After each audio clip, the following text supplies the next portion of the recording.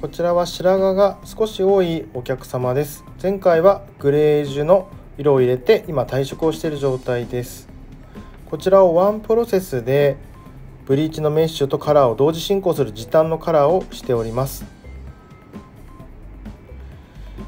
見ていただくと分かるのですが質感が結構いいと思うんですけれどももともとこの方はくせ毛です。モモンガのえー、オイル還元剤を使って、えー、ずっとカラーをしていて、えー、かなり癖が出なくなった状態ですね。それに今回モモンガカラーをさせていただきました。